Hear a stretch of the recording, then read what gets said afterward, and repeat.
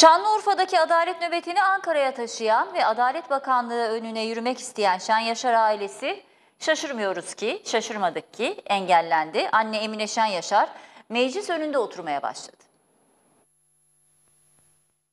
İki evladı ve eşi hastanede gözleri önünde katledilen bir çocuğu da 5 yıldır üstünlerin talimatıyla tutuklu bulunan anne adalet için bugün Ankara'dadır. Mecliste açıkladı Ferit Şen Yaşar. Aile adalet nöbetlerini Ankara'ya taşıdı. Tam 5 yıldır adalet arıyorlar.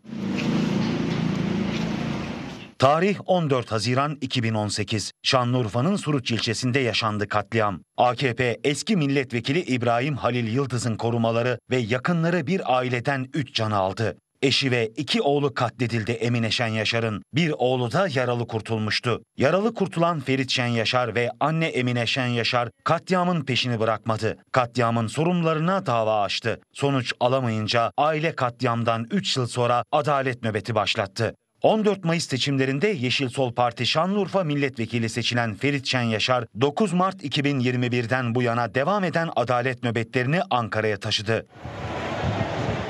Ancak polis ailenin Adalet Bakanlığı'na yürüyüşüne izin vermedi. Emine Şen Yaşar meclis kapısının önünde oturdu. Bekleyiş devam ederken polisler yürüyüşü takip etmek isteyen gazetecileri alandan uzaklaştırdı.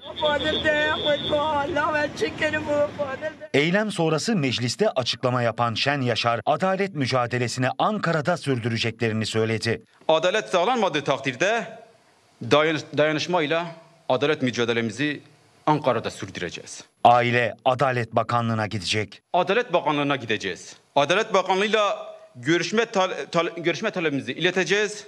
Bakanlıkta Adalet Bakanımız Yılmaz Tunç'la haklı adalet talebimizi iletip adaletin sağlanacağı, sağlanacağına dair bize söz verirse biz de tekrar Adalet Bakanlığı'ndan ayrılıp geleceğiz.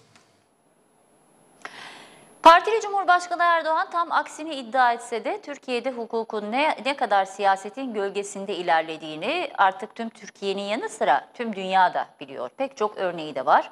Az önce sizlere ifade etmiş olduğum gibi Merdan Yanardağ'ın tutuklanmış olması gibi ama daha nice nice örnekler verebiliriz elbette. Uluslararası platformlarda yapılan araştırmalara ne yazık ki bizim ülkemizde AKP iktidarı tarafından uygulanan